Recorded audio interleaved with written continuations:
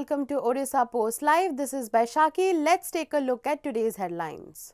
The IMD Friday issued an alert for the heat wave to severe heat wave in the twin cities of Cuttack and Bhubaneswar. In its advisory, the IMD said that the heat will be tolerable for the general public but it may cause some health concerns for the vulnerable ones, infants, elderly and sick persons. In a bid to beat the heat, people should keep themselves hydrated and avoid exposure to heat.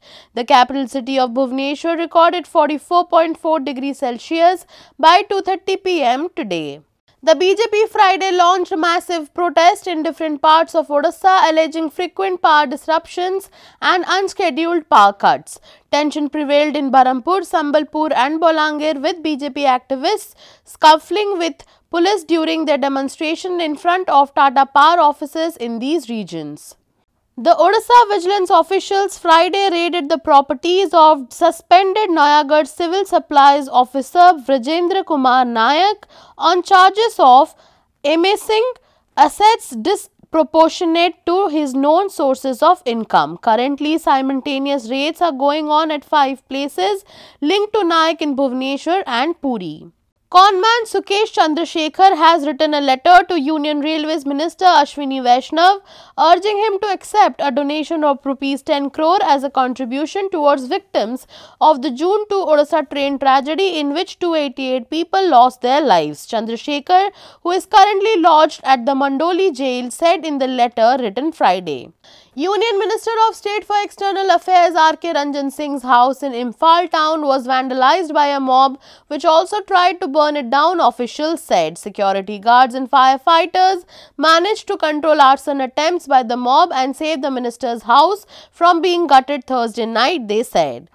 The Nehru Memorial Museum and the library named after India's first Prime Minister Jawaharlal Nehru has been renamed as the Prime Minister's Museum and Library Society. The renaming comes more than a year after the Pradhan Mantri Sangrahalaya or the Prime Minister's Museum was inaugurated at the historic Teen Murti complex where the NMML is housed.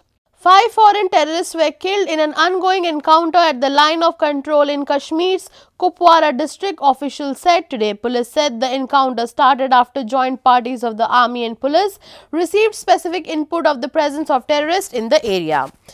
Prime Minister Narendra Modi will lead a yoga session at the UN headquarters in New York June 21 to mark the 9th International Day of Yoga.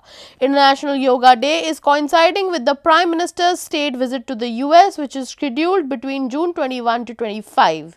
He has been invited by President Joe Biden.